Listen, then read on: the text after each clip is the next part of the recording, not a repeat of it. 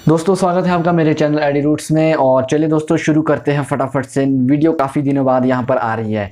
तो भाई, यहाँ पर आज हम बात करेंगे Samsung Galaxy A thirty two के बारे में। और जो ये वाला वेरिएंट है, ये है यहाँ पर ग्लोबल वेरिएंट तो दोस्तों, ये मेरे पास फ़ोन नहीं है बेसिकली ये मेरे को यहाँ नेट्स के ऊपर से आपके लिए वीडियो लेकर आया हूँ। तो इसमें दोस्तों कॉपी नहीं लगेगा।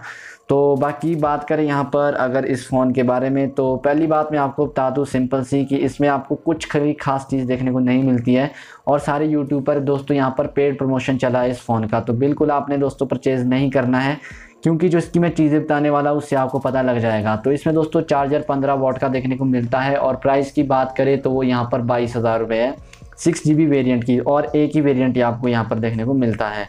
और दोस्तों, बात करें इसके कुछ और फीचर्स की तो इसमें 64 मेगापिक्सल का कैमरा है बट वो सैमसंग का अपना सेंसर है तो कोई फ़ायदा यहाँ पर नहीं है। टाइप सी दोस्तों चार्जर है, चलिए वो बात ठीक है यहाँ पर। लेकिन जो इसमें प्रोसेसर है, वो हीलियो जी एट्टी दोस्तों, और वो आपको यहाँ पर जी एट्टी फाइव तो रियल मी नार्जो ट्वेंटी में ही देखने को मिल जाता था। तो प्रोसेसर के मामले में बिल्कुल ख़राब फ़ोन यहाँ पर मैं कहूँगा और जो कैमरा की, चलो कैमरा क्वालिटी दोस्तों मुझे काफ़ी सही लगी, इसके मैंने सैंपल देखे हैं। 20 मेगापिक्सल का यहाँ पर कैमरा आपको सेल्फी में देखने को मिल जाता है। बाकी प्रोसेसर दोस्तों अच्छा है, बुरा नहीं है, लेकिन यार प्राइस यहाँ पर बाईस है और बाईस में आपको फाइव प्रोसेसर आज की डेट में देखने को मिलते हैं। तो ये फ़ोन तो दोस्तों बिकने वाला है नहीं सैमसंग का।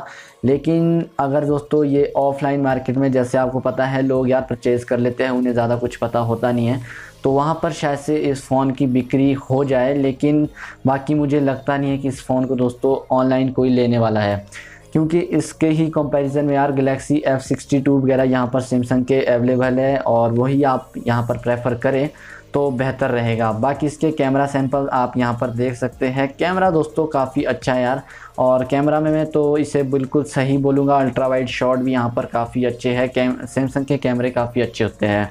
लेकिन वही है कि प्राइस यार फिर बाईस हज़ार रुपये और प्रोसेसर इसमें इतना घटिया था और बैटरी दोस्तों पाँच हज़ार एम एच की और पंद्रह वोट का चार्जर है। बाकी स्क्रीन दोस्तों मुझे काफ़ी सही लगी यहाँ पर। 6.4 इंच की सुपर एमलेट डिस्प्ले आपको देखने को मिल जाएगी। और इसमें आप फुल एच तक वीडियो रिकॉर्ड कर सकते हो। बाकी आपको कौन सी नई वीडियो चाहिए जो फ़ोन मेरे पास अवेलेबल हो तो मैं उसके ऊपर आपको वीडियो यहाँ पर ला के दूँगा। और ये मेरी दो, दोस्तों कुछ ये ऐसी वीडियो थी कि आपको बता दूँ यार कि इस फ़ोन को लेना है कि नहीं लेना है। बाकी मेरे ख्याल से दोस्तों ये फ़ोन लेके आप अपना पैसा बर्बाद करने वाला है यहाँ पर। इससे अच्छा Samsung Galaxy F sixty two आप ले तो आपके लिए बेहतर रहेगा। तो चलिए दोस्तों इस वीडियो में ना ही मिलते हैं।